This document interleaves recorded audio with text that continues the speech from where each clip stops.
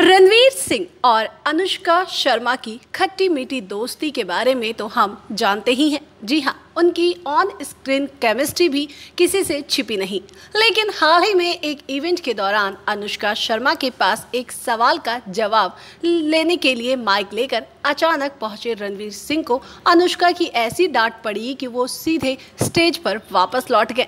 बता दें, अनुष्का शर्मा और रणवीर का ये वीडियो सोशल मीडिया पे जम के वायरल हो रहा है, जहाँ अनुष्का के फैंस उनकी तारीफ़ कर रहे हैं। तो कुछ लोग इन दोनों की खिंचाई कर रहे हैं। दरअसल में हुआ ये कि हाल ही में रणवीर सिंह और अनुष्का शर्मा दोनों ऑल ब्यूटी अवार्ड का हिस्सा बनने पहुँचे। इस अवार्ड फ़ंक्शन का एक वीडियो वायरल हो रहा है, जिसमें रणवीर स्टेज पर कुछ कहते हुए नज़र आए। स्टेज पर खड़े रणवीर सफलता का मतलब अलग अलग लोगों के लिए उनके मायने पर कुछ बात कर रहे थे। तभी रणवीर स्टेज से उतरते हुए हाथ में माइक लेकर अनुष्का की तरफ़ बढ़े और बोले चलो ब्यूटीफुल और टैलेंटेड अनुष्का से पूछते हैं कि उनके लिए सफलता का क्या मतलब है। रणवीर ने जैसे ही अनुष्का की तरफ़ माइक किया तो अनुष्का ने कहा, रणवीर, तुम होस्ट नहीं हो। जी हाँ ये सुनते ही रणवीर तुरंत वहाँ से उल्टे पैर स्टेज पर वापस लौट गए।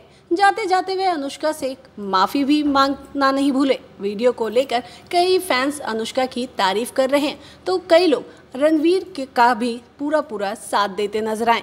फिल्मी अड्डा से प्रियंका की रिपोर्ट।